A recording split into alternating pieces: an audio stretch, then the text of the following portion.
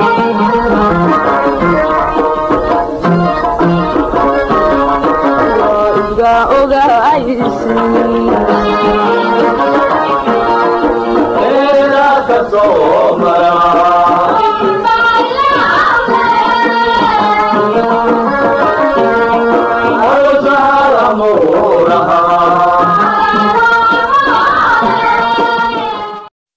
asalaamu calaykum waraxmatullaahi tacaala wabarakaatu halkan waa biji media. Waxaan ku soo qaadanayna kulan maanta ka dhacay magaalada hargeysa oo uu iba furay ama uu furitaankeeda lahaa gudoomiyaha golaha wakiilada cabdirasaaq halkaasoo ay isugu yimaadeen guddi-hoosaadka iyo wasiirka macdanta iyo khayraadka dabiiciga ah. Guud ahaan guddi hoosaadkaasi khayraadka dabiiciga ah waxaa ku jiray oo ka mid ahaa wasiirkii hore ee ahaa wasaaradda macdanta oo ahaa inuu ka qayb qaato hawshan oo isna halkaa ka soo jeedinaya xeerkeeda iyo nidaamkeeda. Laakiin bal waxaynu dib ugu yar noqon doonaa ilaa dowladihii kala dambeeyey ee daahir riyaale iyo dowladda siiraanyo iyo dowladahan iminka muuse waqtigeedu iska dhammaadka yahay. Waqtigii ay tirada iminka ay hayeen ama marka laga hadlayo shidaalka iyo arrimaha had iyo jeer khuseeya iyo macdanta kala duwan ee dalka iyo qaabka markaasi looga howlgalo iyo sida ay yihiin guud ahaan habkaasi iyo xeerarka lagaga hadlayo oo intaasoo jeer yani hawshooda iyo qaybabka iyo nidaamka loo fulinayo hawshaasi iyo xeerka sida wax looga qabanayo ayna soo martay ayaa bal waxaynu is weydiinaynaa dhaatooyinkii laga qaaday xilligaa daahir riyaale iyo siiraanyo iyo kuwan ugu dambeeyey ee la qaaday halka ay ku dambeeyeen iyo xogtaasi cidda ay noqonayso inay anfici doonto marka aynu dalka iyo dadkiisaba ka hadlayno. Xogahani waxay yihiin kuwa markaasi loogu talagalay ciddan markaa la siinayo ama ka qayb qaadanaysa inay noqdaan qaar markaasi beritoole anfaca dalka. Laakiin horta hal isweydiiyo oo golahan cusub ha isweydiiyo halkii aynu doonaynay in aynu ka eegno ama aynu markaasi toosha ku qabanno bal hadda qaybihii hore ee heshiisyadaasi la galay iyo shirkadihii galay iyo qaabkii xog ururintii ay u tahay tu markaasi dalka u taalla oo kaydsan oo lagu ogyahay inay meel ku xafidan tahay iyo inay tahay maalinba ciddii timaada shirkada ee ka howlgasha arrimahaasi inay tahay tu mid cusub u yegleesha howl cusubna gasha howlaheedana qabsata beritoolana cid arrinkaasi gacanta ku haysa iyo cid mustaqbalka. Hawshaasi la qabtay beritoole loo soo joojinayo midna aanay jirin. Bal arrimaha waxaynu ku boorinaynaa golaha wakiilada ee cusub iyo guddi hoosaadkanba inay wax badan iska weydiiyaan arrimahaasi oo noqonaya hantida ama waxa raasamaalka u noqonaya dalka taasoo aynu guud ahaan garanayno heerarka kala duwan ee sharikadaha inta badan macdanta iyo shidaalka baara ay yihiin qaar xogtooda iyo nidaamkooda ka iibin kara shariikado kale marka ay iyagu uursadaan nidaamka kala duwan iyo waxyaabaha ay heleen ee markaasi dalka laga helay laakiin kaydkii dalka iyo mustaqbalka. Wixii aan ku hawlgeli lahayn aynan hayn marka laga soo bilaabo dowladaha ka soo bilaabma daahiryaale oo badda iyo berigaba iyo maraakiibba lagu qaaday xogo kala duwan kuwaasoo kuwii ka dambeeyana uu ka mid ahaa wasiirka imika halkan taagan ee talada iyo hawsha kala qayb qaadanaya wasiirkan cusub iyo gudoomiyaha baarlamaanka iyo guddi hoosaadkanba. Arrintaasoo u baahan isweydiinteeda iyo geedi socodkii wasiirkaasi xilligii uu wasiirka ahaa qaybihii uu markaasi ka soo qayb qaatay iyo xogihii uu hayay iyo qaabkii markaasi ay markaasi noqotay tukaydsan iyo cidda loogu soo hagaagi karo iyo xeerkani waxa uu ka tarayo. Waxaa la doonayaa horta intaan la samaynin wax la yidhaahdo sahan ama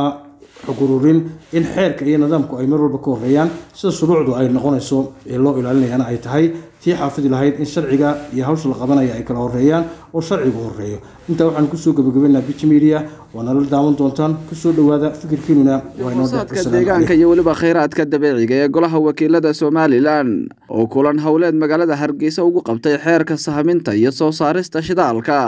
ugu horeyn waxaa madasha ka soo qayb galay gudoomiyaha golaha wakiilada somalilan cabdirasaaq khaliif axmed iyo wasiirka macdanta iyo tamarta ee somalilan cabdilaahi faarax cabdi iyo egas wasiir xuseen cabdi ducaale iyo weliba gudoomiyaha guddi hoosaadka deegaanka iyo khayraadka dabiiciga mubaarak muuse ismaaciil. Ugu horeyn waxaa madashani iba furay gudoomiyaha golaha wakiilada somalilan cabdirasaaq khaliif axmed. Kadib runtii sharaf bay ii tahay inaan ka soo qayb galo oo idiin furo workshopkan aynu kaga hadlayno xeerkii macdanta oo runtii muhiimad badan inoo leh. Dal ahaan guud ahaanna cid kasta oo danaynaysa dalka kan inay maalgashataa waxa ugu horreysa ee inaga eegaysaa ay tahay waxa inooga diyaarsan xeerarkii lagu dhaqmi lahaa hadday noqoto kuwo maalgashi iyo hadday xeerarka gaarka u ereyooyinka gaarka ee tan maanta aynu ka hadlaynaa ay ka mid ka tahay ay yihiin waxyaabaha ama inoo soo jiidi kara cid wax inagala qabata ama ina maalgashata iyo haddii laynagaga fogaanayo laynagaga didayo waayo qof waliba wuxuu rabaa wuxuu inagu aamino oo marka uu waxgashanayo dalka uu inagu aamino. Innaga awooddeenna iyo tamarteenna waynu ognahay iyo waxaynu eriyooyinkan ka qaban karo waynu is ognahay. Waxaa keliya aynu wax ku qaban karaana waa inaynu helno cudud bannaanka ah ama dibadda ah oo maalgashata oo gelisa aqoon oo gelisa dhaqaale oo markaa kadibna la gaadho heer aynu ayno aynu wax soo saaro runtii waxaan u mahadnaqayaa xubnaha guddiga ooan ogahay iyagoo fasax ku jira inay shaqaynayeen oo hawshan xeerka ay shaqo fiican ka qabteen guddida guddoomiyahooda guddoomiye ku-xigeenkooda iyo xubnaha kale ee guddida halkan fadhiya dhammaantood waan u mahadnaqayaa. Waxaa kaloo u mahadnaqayaa wasaaradda oo wada shaqayntii ay la samaysay iyo xeerkoo marka horeba wasaaradda ka yimi oo ka soo unkamay ayna ka muuqato in dadaal badan la geliyey oo runtii laga shaqeeyey. Isagoo goloweynaha tegi doona oo golaha ku noqon doona haddana wuxuu u baahan yahay in cid kasta oo lala kaashan karo oo aqoonteeda le lala kaashado la soo fududeeyo oo la soo lafaguro kadibna uu markaa u gudbo hay'adihii kale ee sharciga ahaa si uu u noqdo xeerkan xeer dhaqangal ah oo aynu ku shaqayno oo howlihii aynu baahidii inoo geysay markaa aynu fulino haddii lahay idmo waxaan rajaynayaa in dadka khubarada ah aqoonta u leh arrintaa iyada ah laga faa'iidaysto oo aan rajaynayo lifaaq wanaagsan oo waxtar ah oo hadhow goluhuna ka doodo hay'adihii kalena u gudba inaad raacin doontaan haddii lahay raalli ka noqdo dhanka kale waxaa hadalka iska daba qaaday mas'uuliyiintii madashaasi ka soo qayb galay. Maanta ay taariikhdu tahay bishii kowaad first of december waxaan runtii aanu qabanay shirkan ama maanta workshopkan oo ku saabsan xeerkii shidaalka xeerka saameynta ee shidaalka jamhuuriyadda somalilan xeer xeerkaasoo runtii golaha beri dhaweeto ku soo noqday mooshin ay xildhibaanadu qaadeen inay xeerkaa dib loo eego. Xeerkaa dib u eegistiisa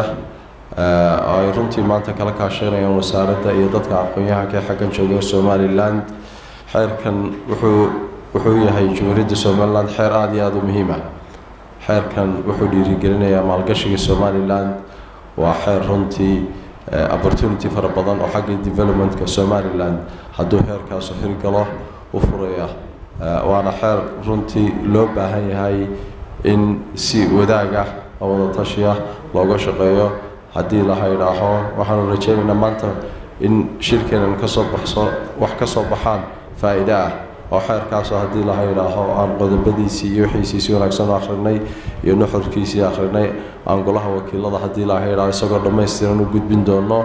haddii laha idhaho say golahuna waajibkooda ugu gustaan dastuuriga.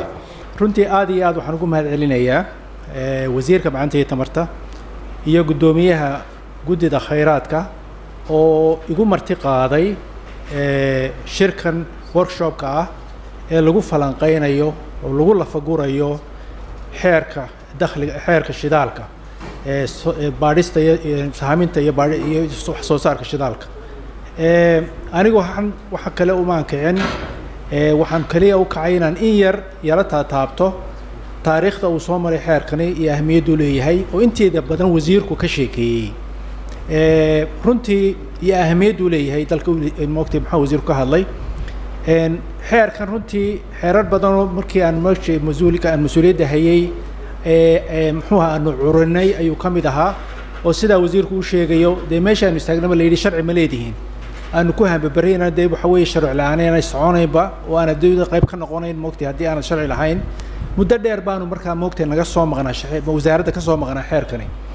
2014 ayaan hawshiisa berigaa bilownay curistiisa xeerkan markii uu nagu dhashay inaanu samayno waktigaas anigu dee petroleum engineer baan ahay laakiin lawyer ma ihi. Waxaanina waa waa legal document qeexaya si wax loo maareynayo on a legal basis. Marka waxaa daruuri noqday inaanu muxuu ahaye baadi doono khubaro caalamiya aad baan ugu faraxsanahay inaan arko kulankan ama workshopkan sababtoo ah waa aqoon waa meel aqoon la isku wadaarsanayo wax wal oo la samaynayana haddaan aqoon loo helin waa la qaldi karaa. Waxaynu maanta meesha iskugunidayno aqoontan uga faa'idaysanaynaa waxaa weeye sharciga lagu maamulayo khayraadka dhulka ee batroolku ka mid yahay ugu weeyay amba gaasto sharcigaasi waa furaha waa albaabka laga gelayo maamulkaas. Hadduu maqan yahay mar walba waa dhib baa jirta. Waxaa jirta muran baa yimaada shaqaxumaa timaada khilaaf baa yimaada mar haddaanu sharci meel oolin ra'yiga qofka markaa arrinta maamulaya unbay wax ku soconaya marka waxaan leeyahay sharcigaasi aad buu muhiim u yahay iminka shir baan tegay novembar sideedeedii anigii axmed ka socday imaaraadka oo la yidhaahdo africa oil week waxa ugu badan in weydiinaya markaanu soo qaadno khayraadka aanu leenahay aynu dhibaatada sheegno sharcigiina keena barlamaanku yaallaa way iska dhaqaaqayeen wallaahi hadal dambe nagumay soo celinayn waa mushkiladaasna waxay soo taxnayd intii somalilan jirtay marka iyana aan isku daalinin wax baadhid iyo wax helid iyo wax arid ridda aan furno oo sharci barlamaanku sameeyey oo hadhowna ku dabagalo hawsha socota ha sameeyo. Xamse maxamed muuse cawke sahan t v hargeysa